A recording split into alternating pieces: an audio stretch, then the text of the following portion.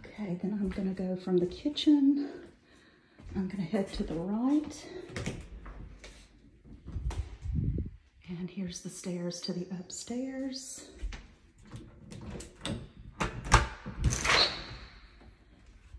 The door to the garage. Let's see if I can find the light switch.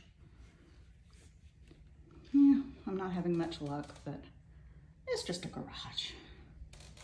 You step down three steps into the garage.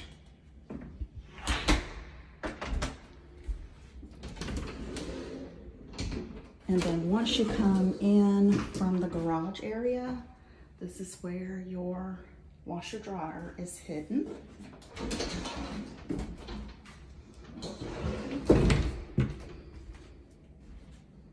And we will go upstairs here in a second.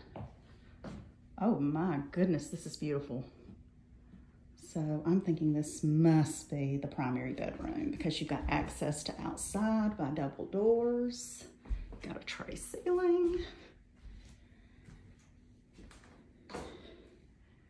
Beautiful shower, tub, double sinks. Nice large closet.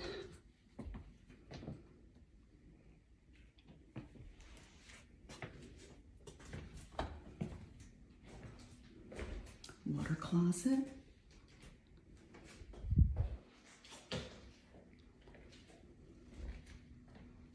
Beautiful.